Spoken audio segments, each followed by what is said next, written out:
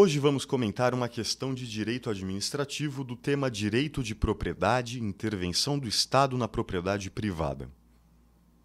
Vamos ao enunciado da questão.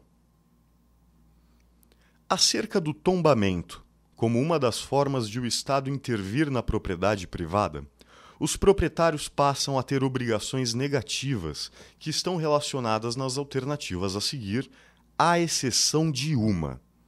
Assinale-a. Alternativa A. Os proprietários são obrigados a colocar seus imóveis tombados à disposição da administração pública para que possam ser utilizados como repartições públicas, quando da necessidade imperiosa da utilização, a fim de suprir a prestação de serviços de forma eficiente. Alternativa B. Os proprietários são obrigados a suportar a fiscalização dos órgãos competentes.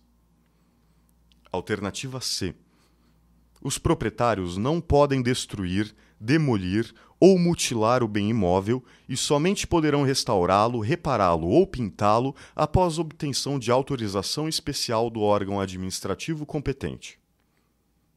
Alternativa D. Os proprietários não poderão alienar os bens, ressalvada a possibilidade de transferência para uma entidade pública. A alternativa A está correta o tombamento realmente pressupõe a possibilidade da utilização do imóvel com essa finalidade, pois atende ao princípio da supremacia do interesse público em prol do particular. Logo, como o enunciado deixa claro que quer a alternativa incorreta, esta, por estar correta, deverá ser descartada por você. Alternativa B.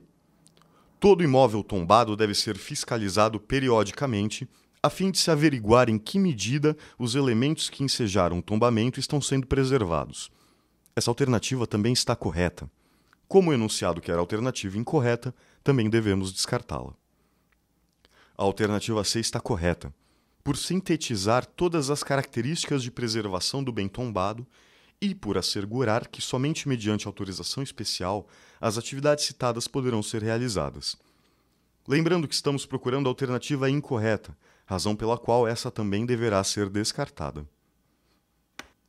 A alternativa D, ao contrário do que se possa supor, a lei permite que o proprietário aliene os bens, desde que se mantenham preservados os elementos que ensejaram o tombamento. Essa alternativa está incorreta. Portanto, de acordo com o comando expresso no enunciado da questão, é a que responde o nosso teste. Fácil, né? Confira o curso teórico gratuito de Direito Administrativo clicando no quadro acima ou mais questões como esta clicando no quadro abaixo. Gostou?